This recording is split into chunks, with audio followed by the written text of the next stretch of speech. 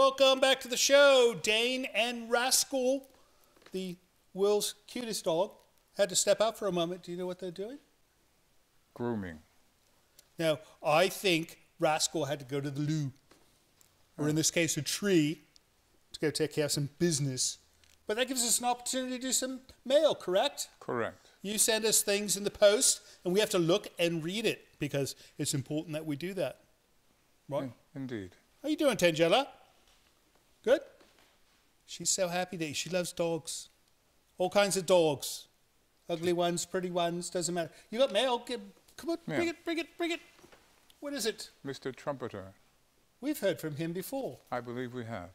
He's, does he have an exclusive access to our mail bag? Oh, I, I mean- recall. I recall. This is this is what he hand wrote the note, and I looked and I said, "I will never be able to read this. You must print it." So one of our poor staffers had to decipher, and it looked like he was decoding the Enigma machine from World War II. Ah, No, it was amazing. All right, so um, Robert Trumpeter says, Hello, Creature Features. Thank you for reading my letter on the air on 42421 at 9.45 p.m. This man has a military background. I'm surprised he did not use military time. Vince, you said my name perfectly. It's been a very weird week for me, and that was uplifting.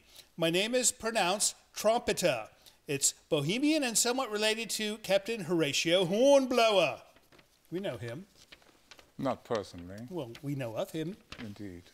The 50s made some of the best sci fi and horror films. The film quality you present the films at is really excellent, especially all the Roger Corman ones. I collect really early film and found early Thomas Edison 1897 products. Wow, that's, that's some old stuff. Impressive. I'm a very avid film buff and make films myself as well and teach film production and theory. I made a film in 1988, Goomers. Uh, Goomers. It's like groomers without the R. About creators that arise from fruit.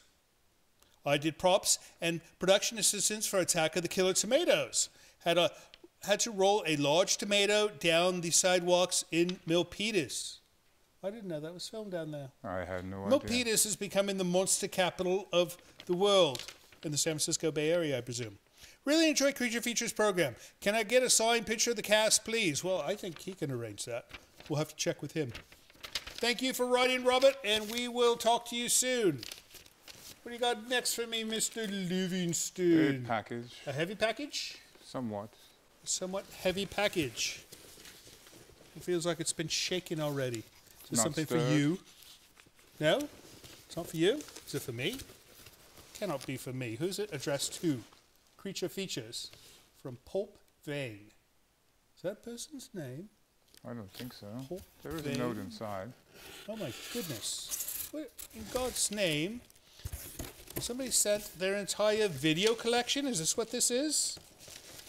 All right, I better read the notes and find out what's going on. You know, we don't, they don't let me look at this before. They just show me a note and say, Can you read this? And I say, No, but this I could read. All right. Um, Brian Lupo does not say where, but it said someplace up north, right? Redlands, California. All right, he goes, Hey, Creature Features crew, just dropping you a small letter to say I love the show. Between Joe Bob Briggs on Friday nights, Svengoolie on Saturday, and your show on YouTube for Sunday. He's watching us on bloody Sunday. Now, he gives Joe Bob Briggs and Svengoolie the weekend, and he saves us for Sunday. It's Yeah, a spread letter day. That's the day of our Lord. You should not be watching horror films on Sunday. Now, you can watch this anytime you want. That's why you're on YouTube and those other two blokes are not, because we're versatile. You can watch this any day of the week, right? Indeed. That's right. All right. Uh, uh, you on uh, Sunday night viewing. My weekends are full of horror hosted terror. I grew up watching Elvira, Zacherley, Count Gore de Vol, Joe Bob Briggs. You already said Joe Bob Briggs. And uh, of course, the legendary Bob Wilkins of Creature Features. As a horror junkie, it's nice to see the home of the horror host is still very much relevant and thriving in our faster paced era. My goodness, this man has a way with words. Indeed. Got to put some commas in so I can inhale now and then. All right, I want you to know us OG mutants. You know, I just found out that OG means original gangster. I don't know how that applies to anything else except gangster films. Original gangster. All right, I want you to know us OG mutants are spreading the word of your channel and wish your show the best of luck, as I do all horror hosts with hearts in the right grave. I've seen your show evolve from episode one. Oh, good lord, that's a that was a beauty. And uh, see a beautifully dark future ahead for the show. If you can please play the film Duel, that would be epic. You know, we tried to get that, no luck. We'll keep trying though. I know you have to pick from public domain titles, not always, and put them on YouTube, so my request might be impossible. But thank you either way for your consideration. And close with some gifts for you, Vincent, Livingston, and Tangella. Best from your subscribed and bell notified fan, Brian Lupo. P.S. Is Tangella's octopus obsession Chuluthu? How do you say this? Chuluthu? Chuluthu. Chuluthu related, is it? Yeah, you know, she likes octopi because it is the animal that looks most like her hair, and she lives by the ocean. And that's all it is. All right, let's see what kinds of gifts he gave us. My goodness. The Sickness of Lucius Frost, a Brian Lupo film, three copies. Look at this. Mon, is this another Brian Lupo film? Good lord, this man's a filmmaker. He did not say so. All right, look at all these films. You know, you should just send us a release with these so we can show them on the air if they're any good. Tangella will let us know if they're very good. All right, look at all this stuff. And he wrote a book. Oh, he, he wrote a book about goats called Goat's Head. She loves goats. She loves her heads too, but she loves goats. She loves the entire goat. All right, well, thank you so much, uh, Brian, and uh, we will uh, take a, a look at these ASAP, right? Is that it? Anything else? One more. One more. I feel like it's Christmas. Here you go, love. All right, last letter is from Ted Beaker in Slurry Creek, Arkansas. That sounds like a beautiful place. Slurry. Do you know what a slurry is? No? Oh. Well, it's not a slur. Is it? No. All right. Uh, Dear Creature Features, I like your show.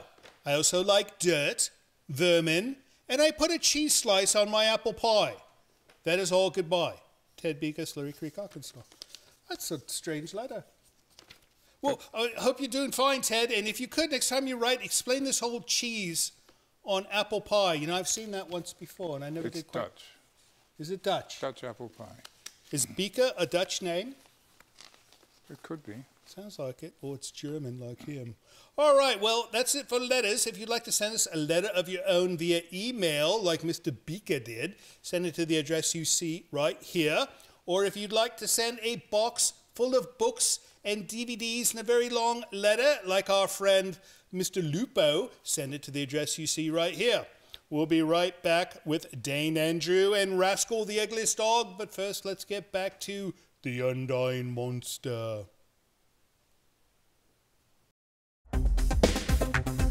Hi, my name is Holly. I grew up on the peninsula. Um, we went to Bodega Bay right after they filmed The Birds, and it was really cool. Really cool that you guys are filming from there.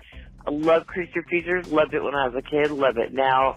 Have a great day, and everything is really wonderful about your show. Thanks. Bye.